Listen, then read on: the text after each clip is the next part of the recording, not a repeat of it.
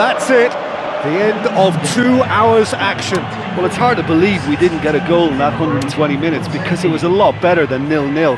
But we're going to get a couple now in this penalty shootout. It has gone the full distance and then some. It will be decided by penalties.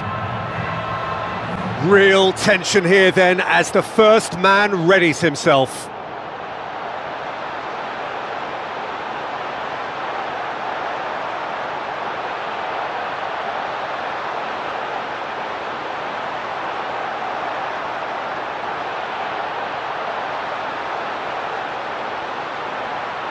So, the first penalty.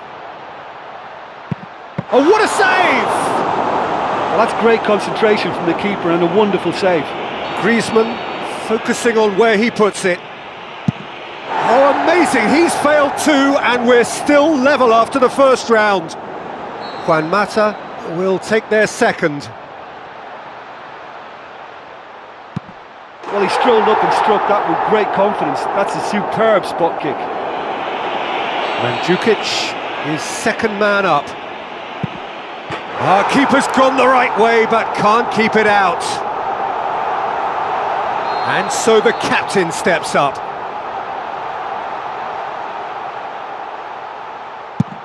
It's in, and the keeper could have done better. Oh, that was a great strike. He just gave the keeper absolutely no chance. No, he's hit the crossbar.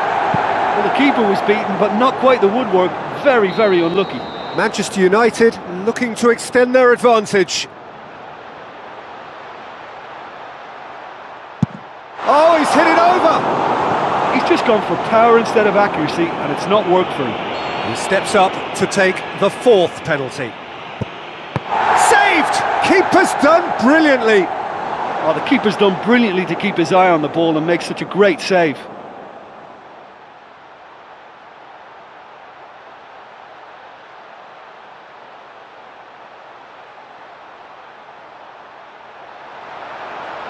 So can he do it?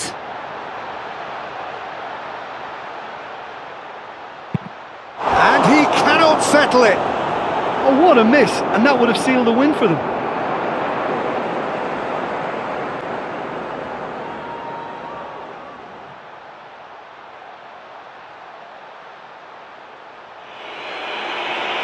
Atlético Madrid must score here to stay in it. That's it! It is done!